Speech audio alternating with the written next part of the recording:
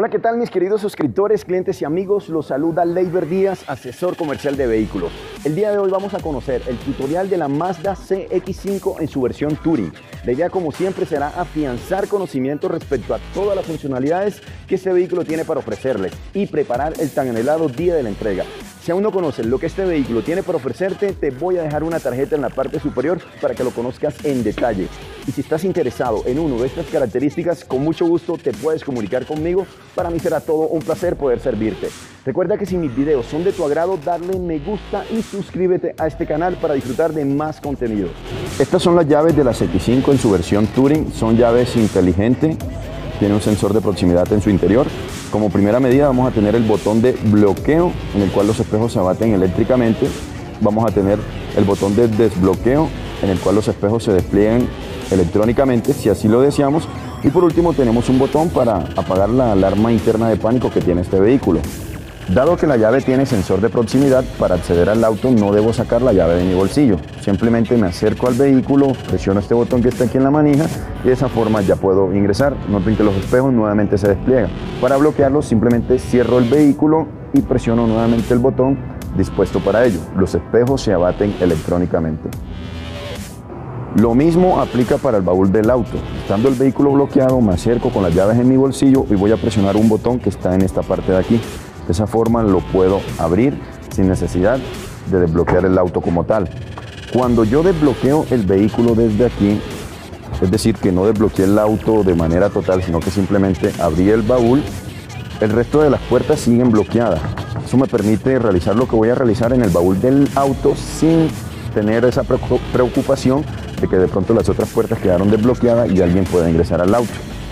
Esta llave tiene una batería, la cual tiene una duración aproximadamente de un año más o menos. Aquí tenemos una ranura, la cual sirve para lo siguiente. Si esta llave se llega a quedar sin batería, muy posiblemente el, sistema de proximidad no me va a funcionar, dado que el auto no está detectando la proximidad de la llave. Y asimismo el bloqueo central tampoco, porque la llave está descargada. Si eso llega a suceder, aquí tenemos una palanca pequeña, la cual vamos a hacer esto. Sacamos la llave manual y de esa forma podremos acceder al vehículo sin ningún tipo de inconveniente. Para maniobrar las luces de este vehículo vamos a encontrar una palanca en el costado izquierdo del volante. La primera posición hace referencia a las luces automáticas, las cuales se encienden y se apagan solas según la consideración del día. Si es de noche o si ingresamos a un lugar oscuro se van a encender, si es de día se van a apagar. Estas funcionan a través del sensor de luz. Vamos a tener una segunda posición que hace referencia a los cucuyos del vehículo. Ahí los podemos apreciar un testigo que se enciende cuando activamos esta posición. Estos son de tipo halógeno. Así se aprecia desde la parte trasera. Allí tenemos el tercer stop. La tercera posición hace referencia a las luces medias del auto. Estas incorporan tecnología LED. Si tiramos de esta palanca hacia el fondo, vamos a activar las luces altas del vehículo y por acá se me va a actualizar otro testigo confirmándome que las tengo activas. Si quiero hacer cambio de luces, tiro esta palanca hacia mí, de esta forma. De allí podemos apreciar las luces altas del vehículo. Y por último, para activar las exploradoras vamos a tener otra ranura aquí en la parte central con la cual las podemos activar. Y noten que se me va a actualizar otro testigo, este de acá, confirmándome que las tengo activas. Y allí observamos las exploradoras. Las luces de estacionamiento o de posición están en el panel central del vehículo, en esta zona de aquí. En esa zona de allí, más o menos por allí, está el sensor de luz del vehículo. Entonces es importante tener esa zona descubierta, no tenerla obstruida con algún tipo de papel o algo así por el estilo. Y en la parte superior del limpio parabrisas por allí tenemos lo que es el sensor de lluvia. Importante no colocar calcomanías y películas de seguridad adicionales porque de esa forma podríamos estar afectando ese tipo de sensores pues que nos van a facilitar las cosas a bordo de esta camioneta. Si necesitamos aún mayor espacio de baúl, podemos abatir la segunda fila de asientos en disposición 40, 20, 40.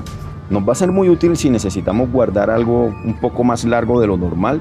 Podemos abatir únicamente la parte central, quedándonos los dos asientos laterales para que las personas vayan de forma muy cómoda.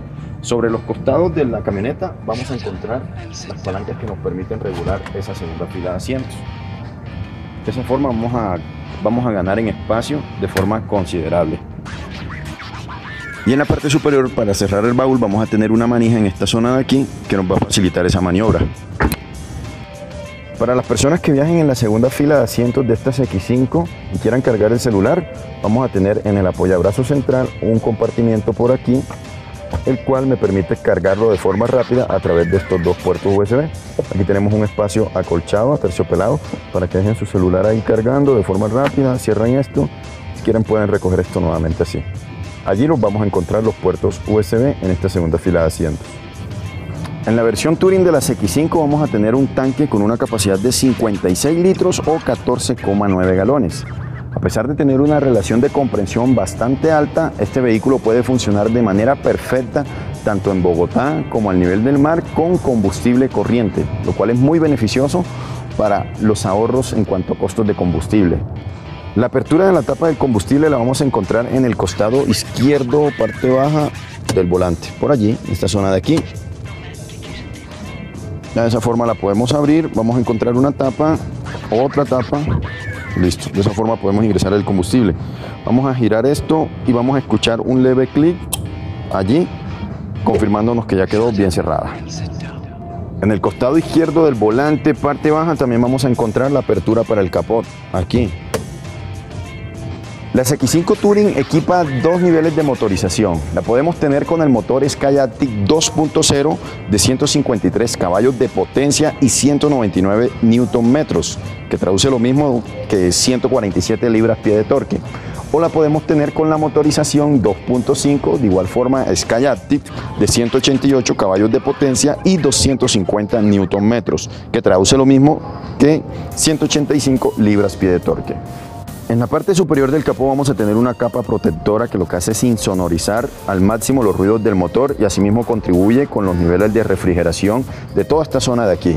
En la parte izquierda vamos a tener el líquido para el limpiaparabrisas, en la parte central, esa zona de allí, vamos a tener lo que es el líquido refrigerante, por allá tenemos lo que es el filtro de aire, computadora a bordo en esa zona de allí, batería, líquido para los frenos, por aquí el orificio para ingresarle lo que es el aceite y el medidor de aceite y otra capa protectora que lo que hace también es regular la temperatura del motor y asimismo insonorizar al máximo los ruidos que este emite. Este vehículo es de tracción delantera 4x2. Viene con una garantía de 3 años sin límite de kilometraje. Los cambios de aceite se realizan cada 5.000 kilómetros o cada 6 meses. Los mantenimientos se realizan cada año o cada 10.000 kilómetros. En esta versión de las X5 las sillas son de accionamiento manual. Entre mis piernas en la parte baja voy a encontrar una palanca que me permite desplazarme hacia la parte delantera o hacia la parte trasera. Acá voy a tener otra que al subirla me permite subir la silla o al bajarla permite bajarla. Perdonen la redundancia, pero allá de estos videos es explicar las cosas de forma clara. Y por acá vamos a tener otra que al moverla nos permite graduar el espaldar de nuestro vehículo de la forma en que nosotros lo, consideremos. Por acá en la parte baja vamos a tener otra que nos permite graduar el volante en altura, en profundidad, para tener una buena visual del panel de instrumentos. Recuerden que lo ideal es no tener las piernas totalmente estiradas, así como los brazos, debe haber un leve ángulo, tanto en esta parte de aquí como en la parte de las piernas, para amortiguar posibles impactos que Dios no lo que ayer llegasen a suceder. Y la cabeza no puede estar tan pegada al techo. Estos vehículos Mazda que equipan llave inteligente, la forma correcta para encenderlos es la siguiente. Con un toque vamos a abrir lo que es la parte eléctrica para la pantalla de infoentretenimiento. De esa forma vamos a encender ese sistema de allí. Si lo presionamos dos veces, ya le vamos a dar fluido eléctrico a todo lo que es la parte del vehículo y se nos va a encender el panel de instrumentos. Y por último, ya para encenderlo como tal, debemos pisar el freno y oprimir el botón de encendido que tenemos por aquí. Esa es la forma correcta de encender el vehículo. Quizás nos tardemos 7 segundos, 8 segundos en hacer esta operación, pero es la forma correcta de encender el auto como tal. Otra novedad y es que si esta, esta llave se llega a quedar sin batería, vamos a realizar la misma operación que acabamos de hacer oprimiendo este botón, pero no lo vamos a hacer con nuestro dedo, sino propiamente con la llave. Es decir, si esto se llega a quedar sin batería la llave. Entonces el sensor de proximidad no me va a detectar la proximidad de la llave.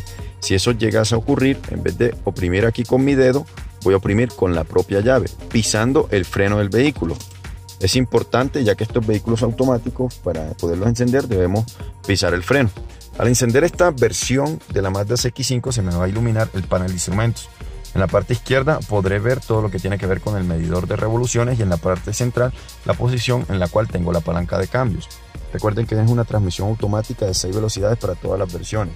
En la medida en que yo la voy moviendo, se me va actualizando acá la posición en la cual tengo la palanca de cambios. Nótenlo. En la parte central tenemos lo que es el velocímetro. Por acá tenemos lo que es la computadora de a bordo, que me informa información importante respecto a la temperatura del motor, la temperatura exterior, información sobre los consumos de combustible en la parte central. Esa computadora a bordo la puedo explorar con el botón info. Si lo presiono, ahí voy cambiando la información que ahí se visualiza. En primera instancia me aparece el rango, que es la que me informa cuántos kilómetros puedo recorrer con lo que tengo en el tanque de combustible. Aquí abajo se me visualiza cómo está el tanque de combustible. Ahí me aparece una información que la computadora a bordo calcula. Si le presiono nuevamente, voy a avanzar. Ahí me aparece cuántos kilómetros he recorrido por cada litro consumido. Le vuelvo a presionar y me aparece el promedio de kilómetros recorrido por cada litro consumido. Y vuelve a empezar nuevamente. Esta transmisión automática de 6 velocidades tiene las posiciones normales de parking, reversa, en la cual activa automáticamente la cámara de reversa, full color en la pantalla central. Puedo seguir bajando hacia la posición de neutro Aquí tengo una un botón el cual debo presionar cada vez que vaya a bajar la palanca de cambios de P a R y a N. Y ya de aquí pues no tengo que presionarlo. Tengo la posición normal de drive y tengo un modo de conducción que se llama modo manual. Aquí pasando la palanca de cambios a la izquierda en el cual hacia abajo le meto cambios y hacia arriba se los saco. Y acá en el panel de instrumentos se me va actualizando en qué posición estoy marchando mi vehículo, si voy en primera, segunda, tercera, cuarta, quinta, sexta. Eso es importante, digamos, a la hora de realizar ascensos prolongados a pendientes o descenso, me va a ser muy útil para realizar, digamos, los cambios de forma manual. Si realizo los cambios de forma manual en este tipo de circunstancias, le voy a ayudar al vehículo a subir y asimismo a descender para no acabarme los frenos del auto. Tengo un tercer modo de conducción que sería el modo Sport. Hacia arriba lo activo Acá se me va a iluminar un testigo confirmándome que tengo el modo Sport activo allí, encima de la D, si lo pueden notar. Y de esa forma el vehículo seguirá realizando los cambios de forma automática, pero él los va a realizar en un rango de revoluciones mucho más alto. Eso es chévere a la hora de realizar sobrepasos a tractomula, ya que el vehículo le saca el máximo rendimiento a cada una de las marchas en las que va para poder realizar esos sobrepasos con, para, para darme como ese poder adicional a la hora de realizar sobrepasos. Entonces lo recomiendo mucho utilizarlo en ese tipo de situaciones. En esta camioneta tenemos freno de mano eléctrico. Funciona como la palanca convencional. En este caso pisamos el freno del vehículo y hacia arriba ahí activamos el freno de mano del vehículo. Y hacia abajo lo desactivamos. Lo noto porque esto está apagado y asimismo en el panel de instrumentos se me notifica con un testigo de que en efecto lo tengo encendido. Ahí está encendido y hacia abajo vamos a apagarlo Vamos a encenderlo otra vez, ahí lo puedo notar. En esta CX5 también tengo función auto hold, la cual activo de esta manera, ahí está activo. Eso me permite llegar a un semáforo y no tener que pasar la palanca de cambios a N y asimismo no tener que estar pisando el freno constantemente para que el vehículo no se vaya. Con esta función activa el vehículo se queda detenido y nuevamente se libera una vez pise el acelerador del auto. Por supuesto que en este carro vamos a contar con vidrios eléctricos para las cuatro puertas, el del conductor y el de los pasajeros es automático de un solo toque, es decir, para todas las puertas vamos a tener esta función. Aquí vamos a tener el bloqueo de vidrios con este segundo botón que está por acá. Con este botón de aquí podemos abatir de forma eléctrica los espejos desde el interior del auto, presionándolo hacia abajo. Ahí está en el medio, vamos a presionarlo hacia arriba y de esa forma los estamos abatiendo. Si cuando yo bloquee el vehículo con, con la llave, y quiero que los espejos se recojan automáticamente, simplemente lo voy a dejar en la posición central. De esa forma, al bloquear se cierran y al desbloquear se despliegan. Si siempre los quiero dejar abiertos, dejo este botón en la parte superior o en su defecto, si siempre los quiero dejar cerrarlo, cerrados, perdón, lo dejo en la parte inferior. Los retrovisores también son eléctricos, accionan desde aquí. Esto lo giro a la izquierda y empiezo a maniobrar en forma de cruz, ese que tenemos allí. Luego lo giro a la derecha y lo mismo en forma de cruz vamos a maniobrar el de la parte derecha. Por último y como recomendación, esto lo vamos a dejar en la posición central para que este sistema quede inactivo. El vehículo cuenta con sensor de velocidad. Eso me permite bloquear las puertas automáticamente una vez el vehículo inicie la marcha. Si lo quiero hacer propiamente por mi cuenta, tiro este botón. Y si los quiero desbloquear, tiro este botón pero hacia afuera. Este botoncito que está aquí en las manijas. De esa forma, bloqueo y desbloqueo las puertas del vehículo. En la parte baja izquierda del volante vamos a tener este botón por aquí que lo que hace es inhabilitar el control de tracción del vehículo. Acá se me enciende un testigo confirmándome que tengo ese sistema apagado.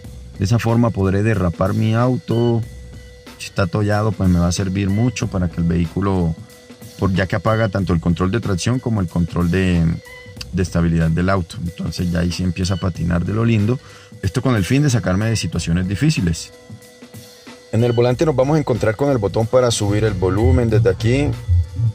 Noten, para bajar volumen, para subir volumen, para pasar las canciones, para pasar las emisoras desde aquí, para darle los comandos de voz, para sintonizar alguna emisora, desde aquí se lo podemos decir. Diga un comando. Sintonizar 99.9 FM.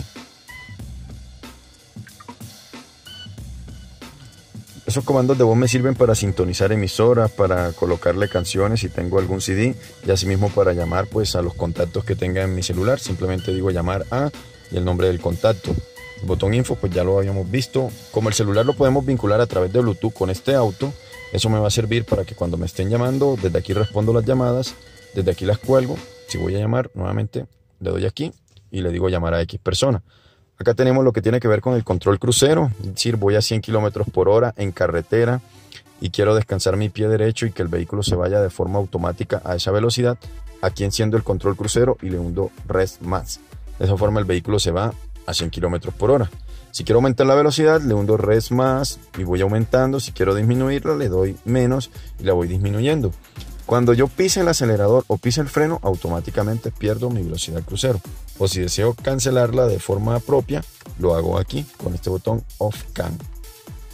El sistema de infoentretenimiento de esta camioneta incorpora una pantalla táctil de 7 pulgadas. Reacciona muy bien al tacto. Es sistema de, de infoentretenimiento Mazda Connect que se ve espectacular y luce muy bien. La apariencia es muy agradable. Vamos a tener una primera opción que son las aplicaciones donde voy a tener información respecto a los consumos de combustible del vehículo, las medidas, cuántos kilómetros recorrí por cada litro consumido en ese primer trayecto y demás. Eso es básicamente para estar informado respecto a los consumos. La segunda opción me va a brindar, aquí me va a aparecer mensajes cuando tenga que revisar el vehículo, si el vehículo me, va a advertir revisar los ABS, eh, llevar el vehículo a revisión por el sensor de luz, por el sensor de lluvia, etc. Me van a arrojar aquí automáticamente a través del escaneo que hace diariamente la computadora del vehículo para que yo pues lo traiga al taller. La segunda opción me va a informar cuánto hace falta para el primer mantenimiento, para los cambios de aceite y faltando como 400 kilómetros me arroja una alerta aquí para que yo esté atento a ello. En la segunda opción ya tenemos todo lo que tiene que ver con la música y demás. En la primera opción, pues básicamente donde queremos que salga el audio, si de FM, AM, Bluetooth, USB 1, USB 2, CD, auxiliar, etc. Acá pues para ir sintonizando de forma manual las emisoras si lo queremos hacer así. O acá pues si lo queremos hacer de forma automática, ella va a encontrar la emisora que nosotros queramos. Si me gusta por ejemplo esa 100.4, le doy aquí en la estrellita, de allí la añado a las favoritas, si así lo deseo. Vamos a tener en la parte central el menú de comunicación que se me sirve para vincular mi celular con el carro. Para ello, aquí simple, bueno, lo primero es darle, activar el Bluetooth en tu celular. Segundo, darle aquí conectar. Te metes al Bluetooth de, de tu celular y te va a aparecer Mazda. Le vas a dar que sí y permitir a todo para que el vehículo tenga acceso a tus contactos, a tus mensajes, a tus llamadas perdidas y demás y quede vinculado de forma de buena forma para que puedas realizar todas las funciones con facilidad. De esa manera, aquí te van a aparecer tus contactos, tus favoritos, el historial de llamada, marcar un teléfono, los mensajes y demás.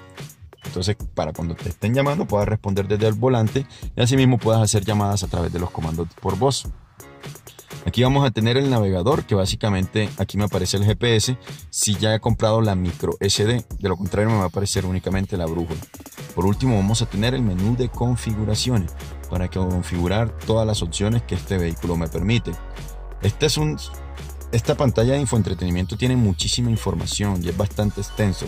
Para no extenderme en este tutorial que es básicamente de la camioneta como tal, voy a dejarlo hasta ahí y ya me encargaré en su debido momento de hacer un tutorial exclusivo del sistema Mazda Connect para mirar opción por opción.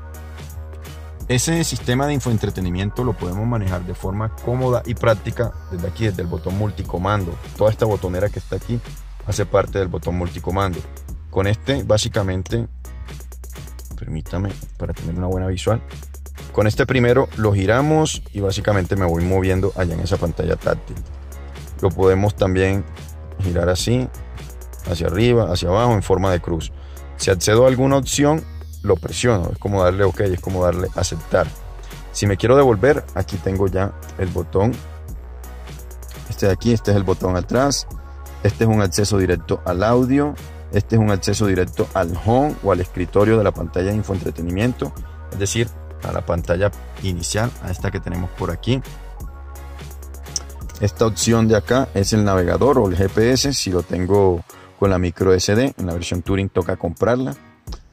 Y aquí tengo el menú de favoritos, digamos el acceso directo a los favoritos, donde voy a tener las emisoras favoritas, mis contactos favoritos, emisoras favoritas, contactos favoritos para llamar y rutas favoritas del GPS. Y por acá tengo lo que es el botón para subir, bajar el volumen o callar. Lo callo presionándolo. El sistema de climatización de doble zona lo tenemos por aquí. Aquí podemos maniobrar lo que es el ventilador, es decir, la intensidad de aire que sale por, uso, por esos ductos que vemos allí. Aquí lo podemos minimizar. Aquí si me va actualizando, pues qué tan, qué tan intenso está o no. Aquí como tal activo ya el aire acondicionado para que salga frío o caliente el aire. Aquí me aparece la temperatura. Aquí empiezo a mover esto y maniobro la temperatura de mi costado. Como es de doble zona, la persona que está aquí en la parte derecha puede maniobrar de forma autónoma la temperatura de su costado, ya sea que lo quiera poner frío o caliente. Si quiero tener la misma temperatura para todo el vehículo, pues simplemente apago la función dual y de esa forma voy a tener la misma temperatura en todo el auto. Si estoy en carretera y quiero absorber aire puro del exterior del, del medio ambiente como tal, dejo activa esta función. Si estoy en una ciudad con mucha contaminación, puedo activar esta opción y el, aire va a recircular dentro del vehículo. No voy a absorber aire del exterior. Con este puedo desempañar el vidrio delantero, con este puedo desempañar el vidrio trasero. Estos dos botones de aquí básicamente es para la distribución del aire, si quiero que me pegue en la cara o en los pies o como yo lo prefiera. Y aquí apago por completo el sistema. Es importante que cuando nos bajemos del auto apaguemos por completo este sistema. Asimismo que dejemos los espejos retrovisores laterales apagados en la posición central para que esos sistemas no estén activos. Y también, como recomendación, hay que dejar el radio apagado. No basta solo con bajarle el volumen, sino apagarlo como tal. En esta zona de aquí, aquí el vehículo tiene el sensor de lluvia, el cual se va a activar automáticamente. Bueno, activa los limpiaparabrisas automáticamente cuando detecta humedad allí. Si quiero que eso sea así, esta palanca que tengo por acá tiene varias posiciones. La primera posición que hacia arriba, es decir, ya de ahí no pasa, ahí está apagado el sistema. Si la dejo en la segunda posición, ahí está activo el sensor de lluvia como tal. Apenas detecte lluvia allí, agua allí, él se va a activar. Con esta puedo intensificar, digamos, qué tanta agua necesita detectar. Mejor dicho, como para ajustar la sensibilidad. Entre más alto esté esto, más sensible va a ser el sensor y de esa forma medio detecta algo de líquido allí, algo húmedo y de inmediato se va a activar. Entonces hacia arriba lo dejo apagado y hacia abajo pues lo dejo activo. Aquí en la primera posición hacia abajo. El sistema de infoentretenimiento de esta camioneta también reproduce CD. La entrada la vamos a tener en este costado de aquí. Vamos a tener un compartimiento aquí en la parte baja con una salida de 12 voltios por allí si quieren escuchar música de sus puertos USB, tenemos los de la parte trasera y tenemos por aquí también otros. Viene una salida de 12 voltios, una entrada auxiliar, dos puertos USB y el slot para ingresar la tarjeta micro SD con los GPS del vehículo. Amigos, yo creo que eso ha sido todo en cuanto al tutorial de esta Mazda CX5 en su versión Touring. Recuerde que tenemos la versión Touring 2.0 y versión Touring 2.5. Realmente las funcionalidades son las mismas, lo único que va a cambiar allí es que la 2.5 pues trae mayor motorización y viene con sensores de reversa. La 2.0 no viene con sensores de reversa. La motorización es más pequeña y listo. Espero que este video les haya gustado, espero que la camioneta les haya gustado y recuerden que si están interesadas en una como, como esta o conocen a alguien interesado en algún vehículo de estas características o de cualquier otro de los que tengo en este mi canal, con mucho gusto se pueden comunicar conmigo, para mí será un placer poderles atender. Recuerden que soy asesor comercial de vehículos, esta es mi labor como tal, así me gano la vida. Entonces para mí sería muy satisfactorio de que si les agrada un vehículo de estas características me puedan contactar. Yo hago todo lo necesario para gestionarles lo que requieran, ya sea que estén en Bogotá o que estén en otra ciudad, no importa. Lo importante es que me puedan llamar, que me puedan contactar y, bueno, así me gano la vida, vendiendo vehículos, cualquiera de los que están en este canal. Entonces amigos, nos vemos en un próximo video reseñable o tutorial de Mazda o de cualquier otra marca. Bye bye amigos, chao. Agradezco al concesionario Mazda Kyoto Motors ubicado en la ciudad de Bogotá por permitirme grabar este video para el canal.